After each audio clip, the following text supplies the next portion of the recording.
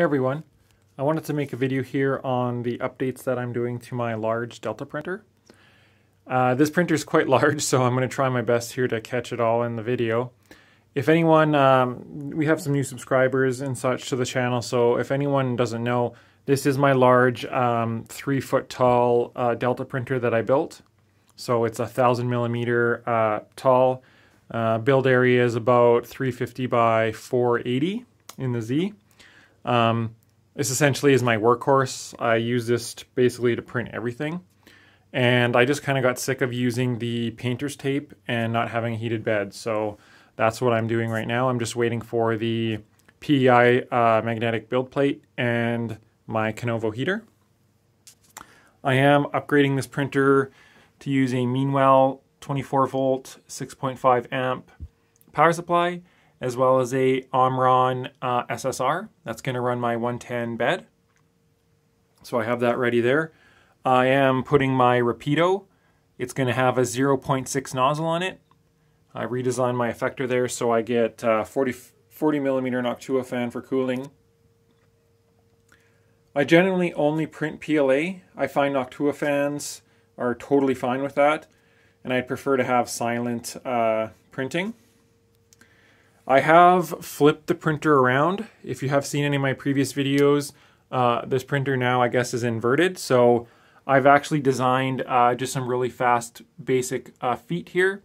Just some rubber mounts, make the printer nice and stable, and then that way I get a little bit of space. Just my heated bed is going to be down here. Now all the electronics will be up top. So my steppers are up here. My uh, SKR board's going to be up here. And then something a little bit differently. I'm actually going to run uh, this entire printer off of Klipper on a laptop. I'm not going to be using a Raspberry Pi. So I do have a uh, Lenovo Ultrabook a Carbon X1 that's going to run this printer as well as my new uh, SimpleQt Ultra once I get that going. So save some money on Raspberry Pis and uh, the interface will be much snappier and that type of thing. I also am able now to move my end stops all the way up to the top here. There won't be any long cables running down the side of the printer. All the wiring should be nice and cleaned up. I'm still going to use my uh, Bondtech LGX in Bowden style. I just, for this printer, being it so large, I wanted to keep the head nice and light. I hope to do some really cool time lapses and things like that with the printer.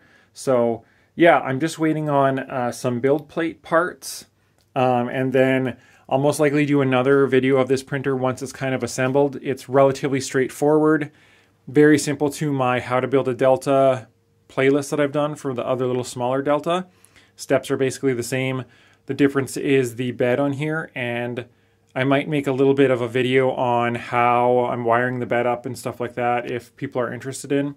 Like I say, I'm doing a 110 volt bed on this. I'm not using 24 volts generally because I don't want any fans running. There's no fan in the power supply. I'm trying to keep this printer as quiet as possible because like I say, this is my workhorse printer and I use it to print everything essentially. So we'll do some more videos on this printer here showing off some prints. Uh, I want to do some nice time lapses. Mainsail now has time lapse functionality, so I really hope to do some cool vase mode time lapses of this printer, that type of thing. If anyone has any questions on this printer, uh, feel free to comment below. I really appreciate all the new subscribers and look for more videos on this printer coming soon. Thanks everyone.